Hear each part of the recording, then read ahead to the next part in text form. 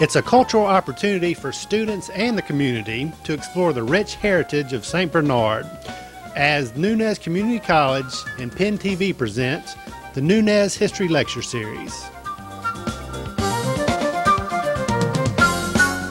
Hi, I'm Carroll Devine. Welcome to this edition of the Nunez College History Lecture Series. Today, our focus is the women of St. Bernard. I feel really privileged to shine the spotlight on some of the women in St. Bernard Parish. We aren't by any means attempting to give you a comprehensive picture here or a chronology. What we've done might be compared to taking a still camera and panning around and taking snapshots here and there. Working with the Times-Picayune as I do, I've discovered that everyone has a story. So when I started helping to put together this project of examining the history or herstory of women in St. Bernard, I should have known that it would be huge. And I've realized that this parish has been blessed with an extraordinary number of women, people who are extraordinary in their strength of character, talent, generosity, courage, resourcefulness, and their pioneering spirit. I'm talking about women in every walk of life. Women as wives, mothers, elected officials, volunteers, businesswomen, educators. Abraham Lincoln said, Men are what their mothers made them.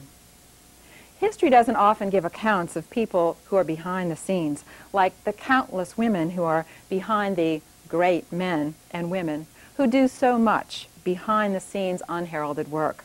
So we can't really report much on those individuals here, but each one of us knows some of them. At any rate, it wasn't until a few decades ago that women have played more visible roles in the community. Some women have been finally recognized after many years of unselfish service. Thelma Dino was one such person. Incredibly, Ms. Dino was a volunteer for the Red Cross of St. Bernard for 62 years. That type of consistency of purpose is almost unheard of in today's disposable society. She served on virtually every level of the Red Cross, doing whatever job needed to be done. She was eventually chairperson it was largely because of her tireless efforts that more than 30,000 people, victims of Hurricane Betsy, were provided food and shelter. Now, while she was working through this disaster, someone told Ms. Dino that 14 members of her own family who were being evacuated from Arabi had been in a boat that capsized. Well, she was visibly shaken, but she went on providing the service for the people of St. Bernard who needed her. The family members turned out to be okay, by the way. Ms. Dino was also a long-time employee of the school system, working 41 years. She was eligible for retirement after 40 years, but she stayed another year because she was needed, and she did it almost for free. This lady was also the driving force behind the St. Bernard Battered Women's Shelter that bears her name today. Thelma Dino served as the first president of the Business and Professional Women's Club. Her footprints are all over the parish. But we see other women's footprints too. For example, other women of the Red Cross, like Lucille Loriot. We see nurses, healers, and midwives, like Celie Robin and her mother. Businesswomen like Leonia Nunez, who operated a restaurant for 40 years and was the postmaster in Violet, and the mother of Senator Sammy Nunez. Like the first women police juror, Blanche Malero, the first councilwoman, Nita Hutter, and the First Lady of St. Bernard, longtime clerk of court and community service person, Lena Torres. The first woman on the school board and its first president, Anita Miro. And women who taught us how to dance, like Audrey Odinette Schenk and Glenda Hosell. Did you know that some women even helped us win the Battle of New Orleans? As the story goes, the Mother Superior of the Ursulines convent in the French Quarter at the time was Sainte Marie de Vezin, now, she was a Chalmette girl whose parents owned a plantation here. She had the nuns pray for an American victory during an all-night vigil just before the battle. Of course, the Americans did win, or we all might be speaking English. When the nuns found out about the victory, though, they promised to celebrate an annual Mass in honor of Our Lady of Prompt Succor. This is why, some years later, in 1951, the church parish in Chalmette would be called Our Lady of Prompt Succor. There's a special breed of women who touched all of our lives, our educators. The names of some stand out especially. Maud Bergeron was one. She started her teaching career at the old Sebastian Roy School in Yscloskey in the mid-30s. At the time, the small school with eight grades, eight classes near the bayou had trouble getting teachers. It was a long distance to drive, 30 miles from Arabi. So the teachers who worked there also lived above the school. Maud taught first grade. Many of the children were sons and daughters of trappers and fishermen. Some came to school in pirogues. 90% of them were on some kind of free lunch program. Now, Maud had had polio when she was four years old, and she was partially crippled. So it wasn't easy for her to haul her water upstairs, which was what they all had to do. There was actually a large outhouse with eight seats on one side for the boys and eight seats on the other side for the girls. When Jim Lewis, who would later become Maud's husband, started teaching there in 1954, he was the only male teacher at the time. Something about the boys' behavior in the outhouse was bothering Maud. So she asked Jim, the only teacher, the only male teacher there, to go find out why they were spending so much time in the outhouse. What Jim found out was that the water acted like a mirror, so that when the boys would look, they could see the girls on the other side. It was Maud who instigated having the outhouse shut down eventually and getting indoor plumbing. According to Jim, Maud got the urge to get ahead, so she enrolled at Tulane University and would travel back and forth from Yscloskey to uptown New Orleans until she earned her master's degree plus 30 hours. She became principal of Sebastian Roy, then in a few years left and became principal of Lacoste School. Jim said she was a top educator. Another remarkable woman was Claire Landry. Claire also taught at Sebastian Roy, but for a year. She and Maud actually became longtime friends. Things were a little different when Claire joined the faculty in 1950. The teachers no longer lived above the school, but six of them would carpool down from Arabi. One time it was raining and the road was very slick. They were in Kenilworth when the car went out of control and turned over. Fortunately, nobody was seriously injured. School there and then was very much like family, Claire told me, and things they did then couldn't be done today. For example, most of the kids at the school were Catholic, so every Friday they would go to Mass at a church about half a block away. And then come back and have hot biscuits. And Claire said, I don't think I came home one day without bringing shrimp or fish that the families would give to me. Claire taught in Covington for a couple of years, then at Arabi Elementary. She got her master's degree and became the first principal of the brand new St. Claude Heights School. At age 25, she had five years' experience and was the youngest principal in the state. She was there for three years, then got married and moved with her husband to New Jersey. Well, after four and a half years, she came back. We St. Bernardians always seem to come back. Claire taught again at Arabi Elementary, then became a guidance counselor at Andrew Jackson. Eventually, she was assistant principal and then principal. Claire wasn't stopping. She was elected to the Board of Elementary and Secondary Education and became its president for three years. She was one of the first few to get accepted into the doctoral program at UNO when it was first offered there. Two of the other few happened to be Dr. Elizabeth Zimmerman, who would be the first female school superintendent, and Dr. Tommy Warner, who would eventually be Chancellor of Nunez. But we're not finished with Claire yet. She's amazing. She decided to go to law school at night. She said she'd always wanted to be an attorney, but when she first graduated in the 40s, women weren't allowed in the law or the pre-law programs. She did become an attorney, but finally decided that she hated it. She retired a second time, but then became a part-time counselor at Hannan High School, where she is today. Claire is 72 years old. Did I mention that during her career she took off four years and had two sons? We all have fond memories of certain teachers, people who've made strong impressions on us and even changed our lives. I have a brief story to tell you about one of mine. Mrs. Travis B. Long. She was not very tall, but she was dynamite. She taught English and public speaking. As a freshman, I had my very first speech class with her, and she gave me the courage and inspiration to overcome great shyness and do what I do today. But my favorite story about her is one from English class when she was trying to teach us the meaning of the word supine. She rushed up to the blackboard as she would do when she was inspired, and she picked up the chalk and proceeded to draw on the blackboard a giant cockroach lying supinely on its back with its legs sticking up in the air. I'm sure if I could round up all my classmates from that class, they'd all know the meaning of the word supine.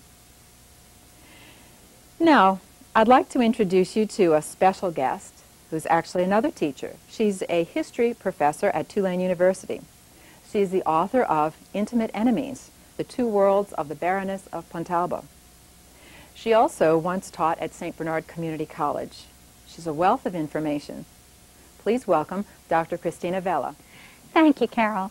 I've been asked to talk tonight about women of St. Bernard Parish or a woman of St. Bernard.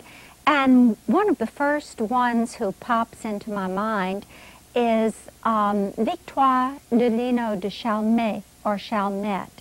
She was the wife of the man, or you might say the co-owner, of the Chalmet plantation where the Battle of New Orleans was fought. And it's very hard to think about that battle without thinking about the people in the background who were so important to the success of Andrew Jackson. But before we get into the battle, let's try to remember what the battle was all about. First of all, this was the War of 1812. The year was 1814, and as a matter of fact, the war had, a truce had already been declared three weeks before. But travel being very slow, people didn't realize that there was no need for this battle. It was a totally useless battle. Another thing that's very interesting about it is that about 3,000 British were lost, only about 13 Americans. The battle itself really went on for about two weeks. This wasn't just, you know, a one morning thing. The whole invasion, the whole operation took about two weeks. It was really one of the most underrated and interesting things in military history, how this came about. But I'm not going to go into that so much. I want to go into it from the standpoint of this woman who was there watching something amazing taking place in her front yard we have to just try to imagine what it must have been like, those of us who've never seen a battle, who've never been around war, to see something like this going on a few feet from you and, and right almost in your house. Uh, Victoire Delino de Chalmet was probably in her 60s or 70s when this took place. She was no spring chicken. And the War of 1812 had been going on for a long time. They were expecting an invasion somewhere on the Gulf Coast. Now, as you know, that war was really about the British trying to take back um, the American colonies. And one of the important ways they intended to take it back was to take the Mississippi River. The battle was really for the Mississippi River. How would they come in? To reach that river? Would they come in through the mouth of the river? Well, there were several various ways. They could have come in through Barataria, but I know it, that we all associate the name Barataria with pirates. The privateer, Jean Lafitte, was um, defending that area. That wasn't a wise place to come in. They could have come in um, in, let's say, Mobile and then marched overland. They could have come in in Baton Rouge and marched overland to the Mississippi River. And in fact, those two entrances were exactly what was expected. Poor Victoire Delino de Chalmet, she had three children. One of them was childless. She was the cousin and closest friend of the Baroness Pontalba, which was how I got to know this family. She uh, had another daughter. I forget what that daughter's, how, what her progeny was, but she had an, another daughter who had 15 children, and all of them were gathered around uh, when this battle took place. She, Victoire, had to deal, of course, with the militia, the Frenchmen, and uh, others. She herself was a French Creole, Creole meaning anyone who was born in the New World, whose parents or ancestors had been born overseas. As you know, there were French Creoles, Spanish Creoles, African Creoles, Black Creoles, everything. It did not mean a person's mixed blood. So she in the weeks leading up to the battle, she had all of these militia people coming in and out of her plantation discussing things. It was very soon made Andrew Jackson's headquarters. Andrew Jackson arrived for the battle, and so did uh, Pakenham, the British commander. Of course, he didn't uh, occupy the plantation, but he was there too. And what did she have to put up with when the combatants arrived? Well, first of all, a lot of the Americans were frontiersmen who were good shots. They weren't necessarily soldiers who were accustomed to discipline or taking orders from anybody. But everybody was absolutely needed because Andrew Jackson put out a call for the militia. He wanted 800. He got something like 200. He would scour the bar rooms and try to get everybody he could out of New Orleans to come out there and help fight off this invasion of the British. The French at this time were not so sure that they wanted to fight the British. They didn't weren't crazy about the Americans. They still were French in their hearts, many of them, even though heaven knows they had lived under Spanish rule for 40 years and they were as much accustomed to Spanish administration as anything. But Andrew Jackson arrives and he starts, the first thing he needs is men and weapons. And so he uh, requisitions all the re weapons in New Orleans. He doesn't get enough. He'd send out another requisition order and searches, and they basically would require people to bring all their rusty antique arms, anything that they had in with which they could fight. All I can say about that battle is thank goodness for Jean Lafitte and the Baratarians and their artillery because it was to a great extent artillery that won the Battle of New Orleans. So without Jean Lafitte, it, it wasn't a negligible quantity. So he gets uh, the militia, the people who were accustomed to parading around Jackson Square, which at that time was called the Place d'Armes. It would later be called Jackson Square after, of course, Andrew Jackson, after he had won this battle. But he gets, you know, these aristocrats who love to dress up and parade around but certainly don't want to fight. He gets some Choctaw Indians. Um, the Choctaws were a peaceable bunch. All the Indians in this area were pretty much peaceable, except for certain rare occurrences, certain incidences that, you know, one could point to. But still, the plantation people, because they saw so little of the Indians, were terrified of them. And th this whole band of Choctaws, you know, doing little war dances and all, they drove them crazy. It scared them to death the free black militia came. God, free blacks! The last thing in the world we want is to arm free blacks. We've been trying to keep those people unarmed and humble all this time. My God, they think they're white. We can't have free black militias. But nevertheless, the free blacks came. Andrew Jackson welcomed them. It's an interesting thing going back to the Choctaw militia. Andrew Jackson was a killer of Indians. He loathed Indians. There was nothing that could make Andrew Jackson go into one of his temper tantrums like a discussion of the Indian menace. He had been an Indian fighter. This was his first appointment with a militia that really wasn't out to fight Indians, Seminoles or somebody. And someone asked uh, one of Andrew Jackson's subalterns, why does Andrew Jackson kill so many Indians? Because after they'd surrender, sometimes he'd just massacre them. And uh, the lieutenant or whatever he was said, I reckon because he knows how. They had absolutely no love for the Indians, but nevertheless they were welcomed into this hodgepodge of a militia. So the people on the plantations, although the men were camped out in the marsh, in the swamp, and although they had their own supply station, the poor British were 80 miles from their supply station and they were wallowing around in the, the muck and mess. Still, there were many requests, many needs that these people addressed to the owners of the plantation. The Americans who came in, these uh, Kaintucks, these people who came down the river from Kentucky or wherever to help fight, and uh, people who came in from the countryside, a lot of them brought their wives and children with them. And the wives and children found that they couldn't camp out in the swamp with the men, and so they bunked in at the plantation until they could get rid of them, persuade them to go back home. That wasn't always easy. Victoire de Lino de Chalmet had been accustomed to the importance of water. Remember that this is a battle for the Mississippi River.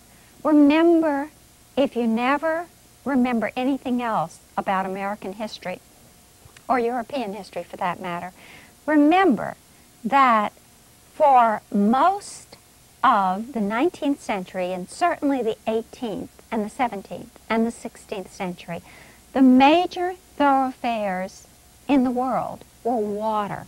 Not roads, not horses, certainly not railroads yet, but water. And it was only after railroads and then finally roads were going to replace water that this isn't true. All the houses along the river faced the river. All the houses along any waterway did because where they got supplies, supplies came in by water. If you wanted to go to the Gulf Coast, which people did, it was a resort area at that time, as it still is, of course, they didn't get on a horse and travel 100 miles to Biloxi. They got on a boat and they were served breakfast and there would be little games and things they could play until they got off the boat to the resorts on the Gulf Coast. If they wanted to go to Baton Rouge, they wouldn't dream of trying to get over the ruts that passed for roads or to get lost in the wilderness on the way to Baton Rouge. They got on a boat and went up the river. So they did understand that. They had been happy enough with the Americans owning the river after the Louisiana Purchase in 1803 because these people who had, in the colonial days, which is basically from um, 1721 until 1803, in the colonial period, they had been so dependent for, uh, on imports that the mother country would allow them to have. Of course, they smuggled. They um, traded with Americans, British, anybody whom they weren't supposed to trade with, because as you know, a mother country's idea of colonialism is that they would regulate trade with foreign countries. They would use the colony to supply the mother country with raw materials, and they would sell manufactured products back to the colony.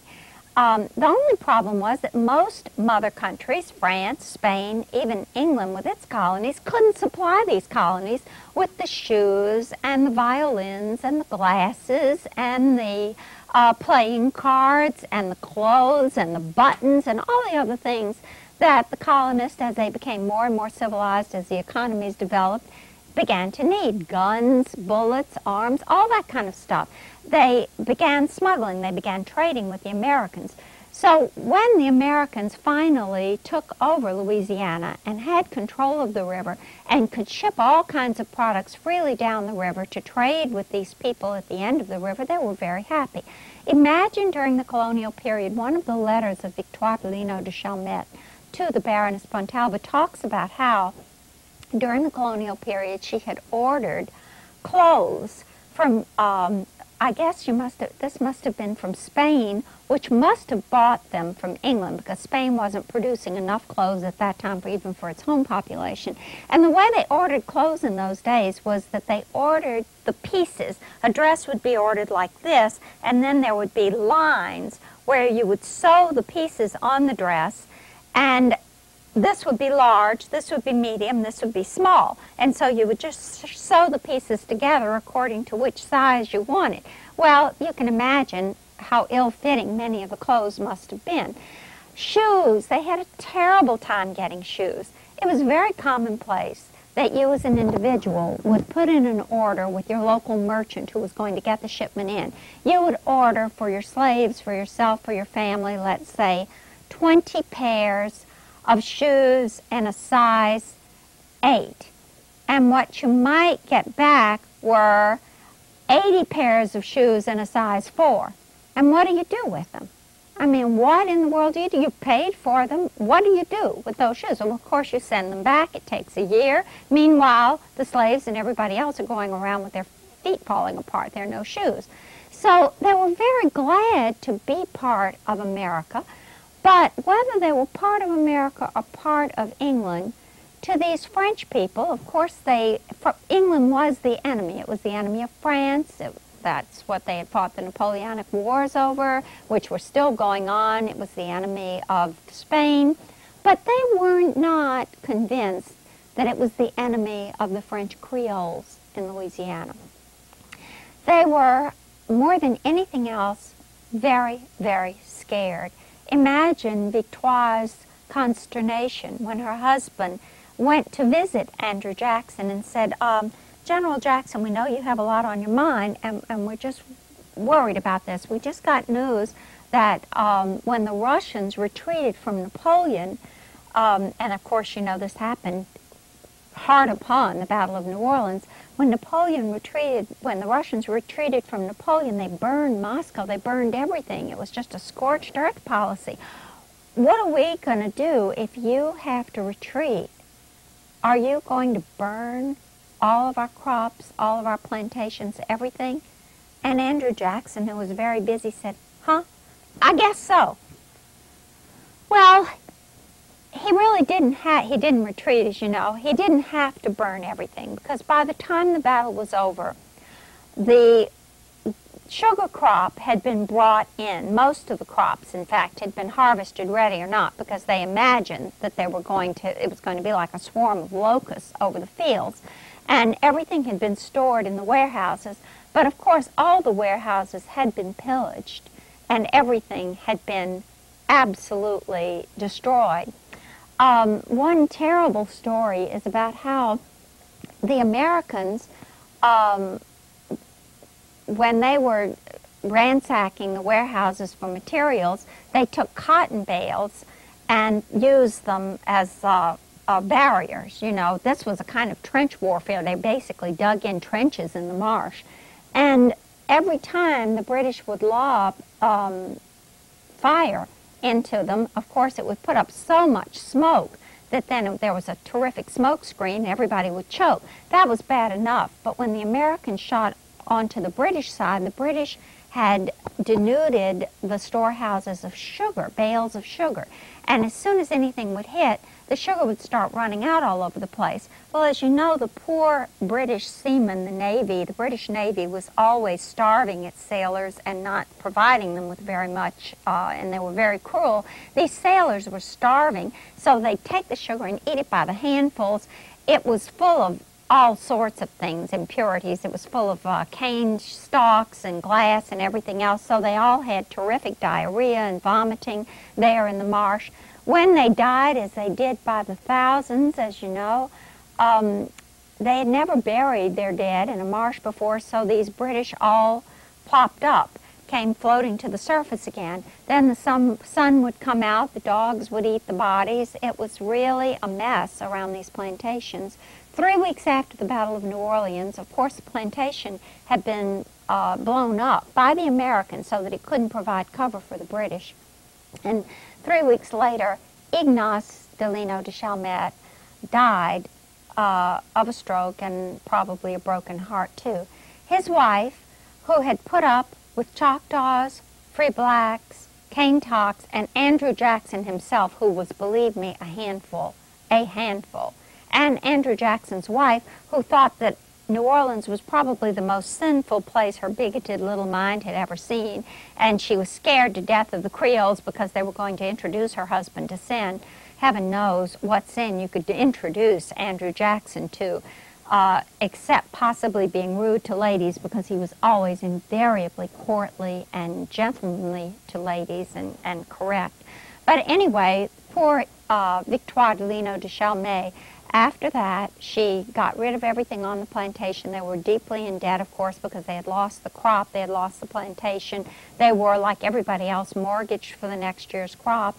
She uh, sold everything. She went to live in an apartment in New Orleans, and she lived to be a very ripe 90 years old. She was semi-literate. She wrote a lot of letters to the Baroness who thought that she was like her mother.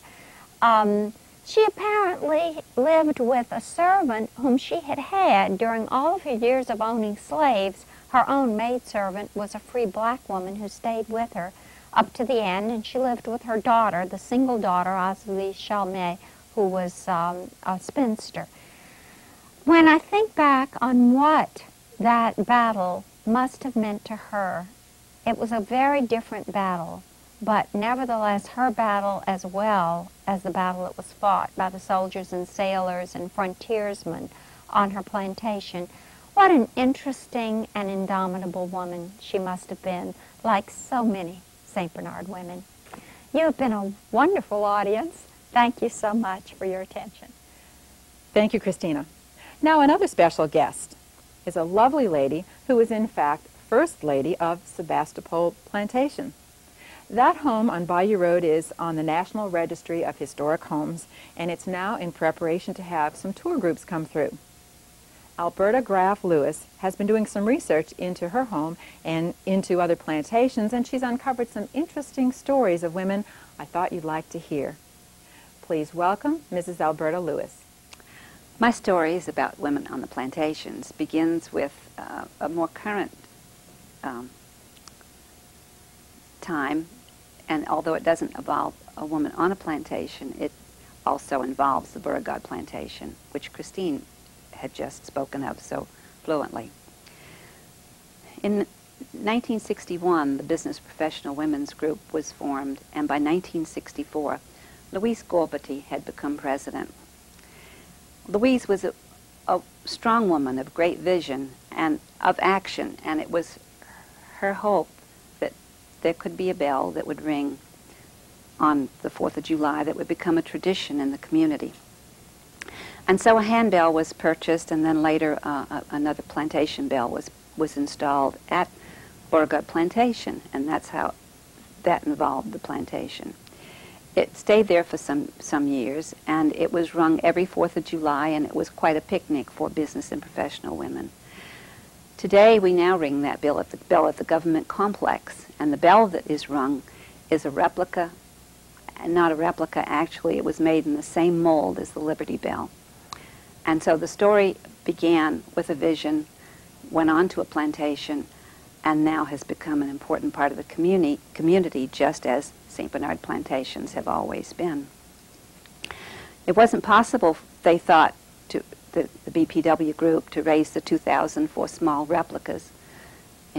When in, 70, in prior to eight, uh, 1976, uh, the same foundry that had poured the Liberty Bell announced that they would make bells available in the United States for the 1976 celebration.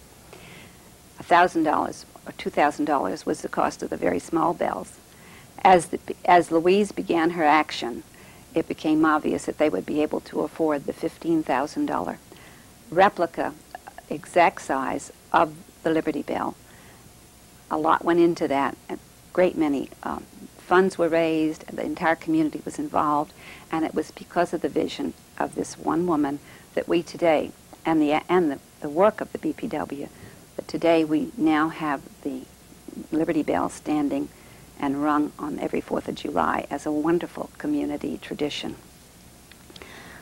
My next group of stories involves Sebastopol Plantation, of which I have been learning a great deal about in the historic in earlier times. I'll begin with Rosa Nunez Ducros, who owned purchased the plantation in the 1880s. She was a very strong, independent woman, and she purchased the plantation with her own paraphernal funds, even though she was married. So when it became obvious that she, her husband was quite a womanizer and she began having misgivings about the situation she was in and it couldn't, he didn't seem to want to correct it. Finally, she ran the rascal off and she actually ran Sebastopol Plantation, which was quite an extensive holding, all by herself and the story goes that she actually had a shotgun that she kept in her office, which is the same office that my husband still uses today, where she had to pay off the workers because it was still a working plantation. So she did a great job running a plantation as a woman on her own. The same plantation spawned three great women prior to that in the 1860s. I'll tell you the story of Martha I'm sorry, yeah, Martha Goodwin Bassett Van Bibber. She was born in Boston in 1805, and she was received a classical education, entering Harvard at age 19. I'm sorry, 14 in the year of 1819. So she was educated as a, as a, a teacher. She graduated from or finished Harvard in 1824. This was quite an accomplishment for women of those days. She went on to teach in charity school, a charity school that was the site of Bunker Hill. Later, she married and became involved with an, uh, literary institution in Texas through her first husband, who was the good, the Bassett part of her name. He passed away, and then she married a wealthy plantation owner from South Carolina who was of Holland descent. And in 1859, the two moved to Sebastopol along with her daughter by her first husband, who was Ann Bassett. Now, during this time of the 1860s, it was the time of the Civil War. Anne was just, the daughter was just a young woman, and um, she became very involved, and her obituary glows with the work that she did serving the community during the time of the Civil, the Civil War, taking care of the, the soldiers, seeing to that they, that they had provisions and, and attending to life as it was to go on at Sebastopol Plantation. Mind you now, Sebastopol Plantation was originally founded and developed as a producing and operating sugar mill, a sugar plantation with a mill of its own. So she had quite, um, quite an area to run. Uh, of course, she had her husband with it. She wasn't like Rosa, who followed her in years later. In 1858 and 59, the production of sugar from, those from the plantation was listed as 70 up to 150 hogsheads of sugar, which were quite large. So these were important years during the, the 1860s. And this was when her granddaughter, the daughter of Ann Bassett, was born, and that was Mattie. So Ma we have a photograph now of Mattie, who is the child who was born in Sebastop on Sebastopol in 1861. For some reason, which we haven't been able to determine, in 1865, the fall of 1860, the winter of 1865, they were removed from the plantation, possibly something to do with the Civil War, because we have the diary of Mr. Van Bibber, who annotates all the events of the Civil War, the surrender, um, the soldiers coming through, uh, the possibility of a Confederate soldier being buried there. But in 1866, on January 1, they were moved from Sebastopol and they moved into New Orleans. Her granddaughter at the time was, uh, let's see, her granddaughter was born in 1861 and this was 64, was a young child. So during the granddaughter's formative years, she lived in New Orleans. The father of the grand of the daughter was a steamboat captain when he was on um, Sebastopol lands. He was also sheriff of St. Bernard. So these three, these women shared a great responsibility. One of the th responsibilities that they shared was that of taking care of the, the sick and being responsible for the people who lived there, the workers, the family, the extended families. So as we move further down the parish from Beauregard to Sebastopol and further on down, there were no plantations, but there were fishing villages.